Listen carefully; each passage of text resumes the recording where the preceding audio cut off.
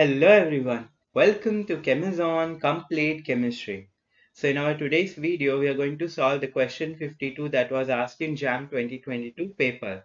The number of beta particles emitted in the nuclear reaction are, this is the nuclear reaction that is given, uranium-238 is giving Pb that is lead 206. So before finding out the number of beta particles, you can see that the atomic mass is decreased. So what we have to calculate is first step is we have to calculate the number of alpha particles. We have to find the intermediate species or nuclei that is formed. So we have to find out the number of alpha particles that are emitted first. So suppose there is an element X and its atomic mass is A, atomic number is Z and if I release one alpha particle or remove one alpha particle, what will happen? Plus alpha. What is a alpha particle? It is nothing but a helium nuclei. Helium nuclei has atomic number of 2 and atomic mass number of 4.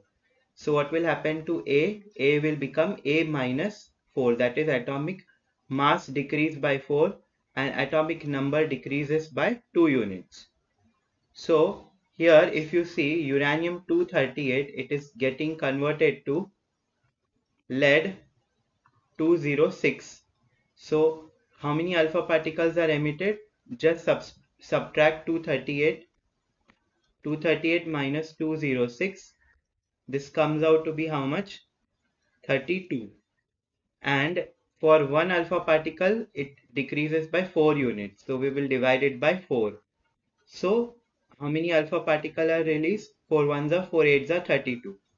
So 8 alpha particles are released. So what I can do? Uranium 238 92 and I am removing how many alpha particle? 8 alpha particle.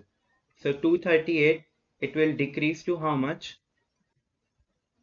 206 and 92 how many? 8 twos are 16 so 92 minus 16 units will be decreased.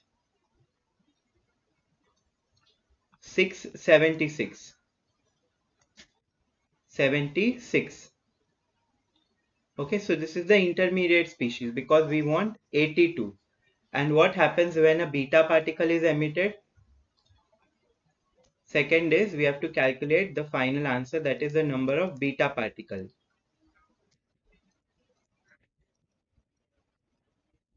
So what happens? Suppose again I take a neutral atom which has A as the atomic mass, Z is the atomic number and a beta particle is emitted that is minus of what is beta particle? It is nothing but an electron. Electron it has a charge of minus 1 and mass is how much? Sorry charge of minus 1 and mass is how much? Mass is 0 minus of minus it becomes plus 1 so what happens so what happens when a beta particle is emitted? The atomic mass is going to remain the same. And for one beta particle the atomic number increases by one unit increases by one unit.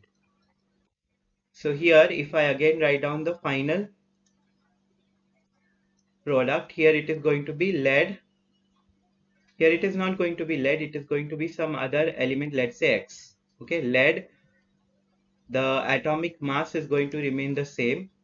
And 76 has become what? It has become 82 so what we can do? How do you find out the number of beta particles? Subtract 76 from 82 82 minus 76 is how much?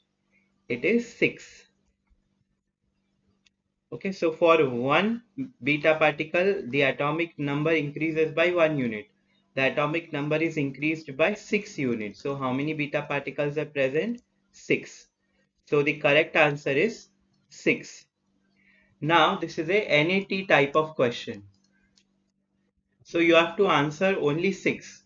If you put any other answer like 5 or 6.1 or any other unit, you will not get the credit for this mark. This was a two mark question. So the correct answer for this is what it is 6. So in the key answer key if you see it is written 626. What is the meaning of this? you have to enter the value as 6 if you have entered any other value you will not get the credit i hope you have understood this solution thank you